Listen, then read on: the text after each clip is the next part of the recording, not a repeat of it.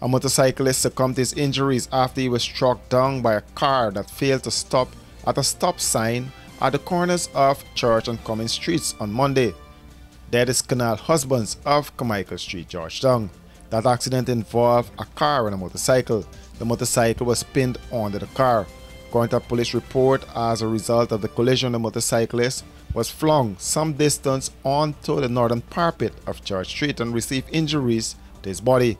The 47 year old father of two was a supervisor at Atlas Security Service and was heading to work when the incident occurred. Husbands was picked up by EMT personnel in a semi conscious condition and transported to the Georgetown Public Hospital, where he was seen and examined by doctors on duty. He later succumbed to his injuries. When this newscast visited with his grieving family, his sister, Amanda Braffett, said her brother was extremely careful on the roadways.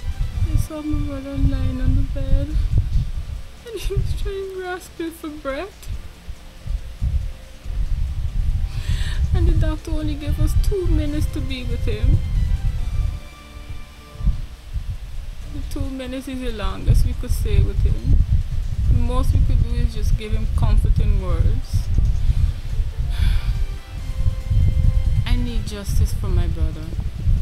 I'm not going to let it go easy. I want justice for my brother. What comes, even if he has to be behind the bars, I need justice for him.